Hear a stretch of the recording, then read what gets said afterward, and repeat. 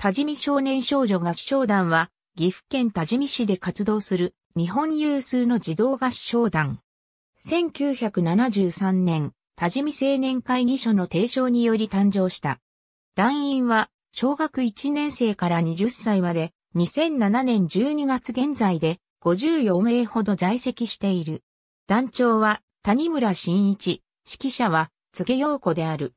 1986年には東京混声合唱団との共演を機会に田中信明氏を音楽監督兼指揮者に迎え、現在の活動の基礎を作る。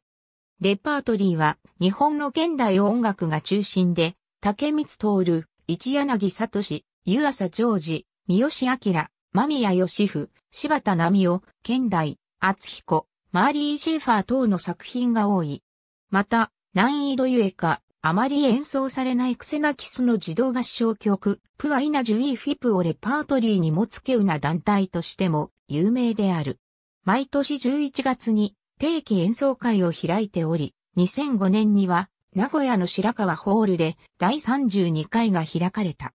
移植作品に、現代、厚彦、はじめに神は、天と地を創造された、林光、春、夏、秋、冬の平一郎、ある科学者の言葉自動合唱とピアノのためのなどがある。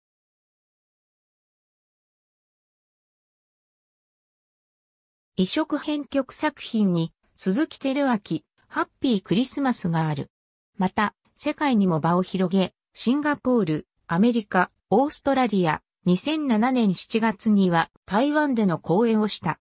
2017年スペイン・バルセロナで行われる世界合唱シンポジウムに世界の23の合唱団と共に招待、合唱団として参加が決まっている。ありがとうございます。